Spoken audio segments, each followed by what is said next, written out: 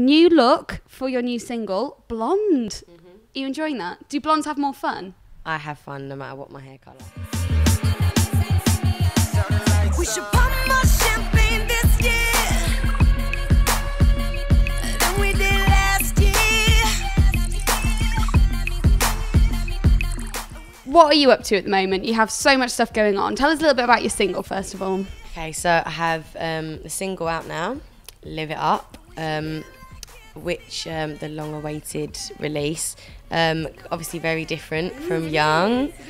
Um, it's just kind of one of those tracks that I heard and I was like, I knew this is unexpected. I know people are going to go, oh, it's a random release. But with all of my singles, I wanted to show all the different dynamics on the album, and that will be a certain dynamic to the album. So The bottles high, and if you don't, that's your loss. New album. When's that coming out? Do we know yet? um, November. And is it all finished? Is it all tickety boo? It's literally all done. The whole skeleton of the album's there. I just need to like master tracks and get the collaborations sorted out. So I'm in the process of doing that this week.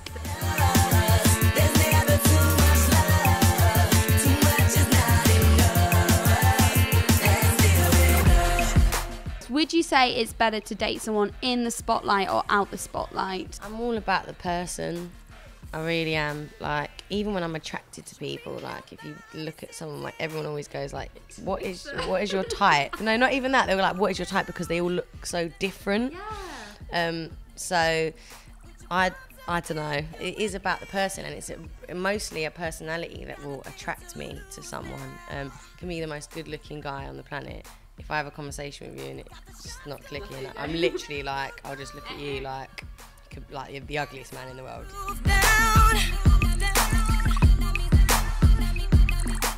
Um, for the X Factor and everything you do, like everything's really image focused. Do you mind that? Do you find that a bit sort of hard work after a while, or I don't really care like about what what people think. yeah, it doesn't really like when it comes to them focusing on my image. When I get criticised for my image, that doesn't. It's just yeah. I get more agitated about like character stories when they like try and make me out to. But yeah, if they try and make me out to be something I'm not, then I get frustrated. When it comes to image, they can slate me as much as they want.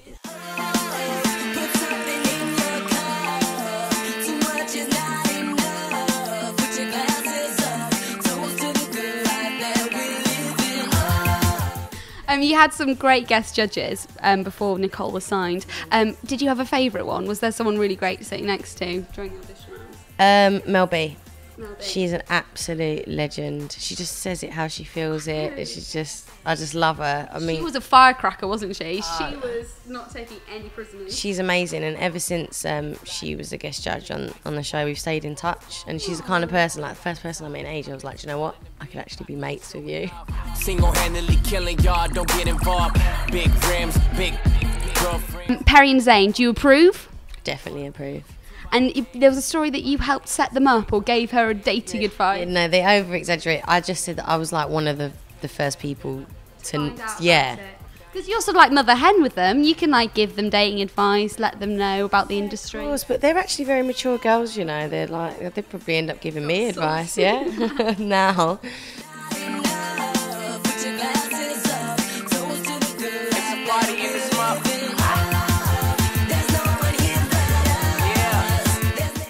You do you feel like you've got a winner in your group this year?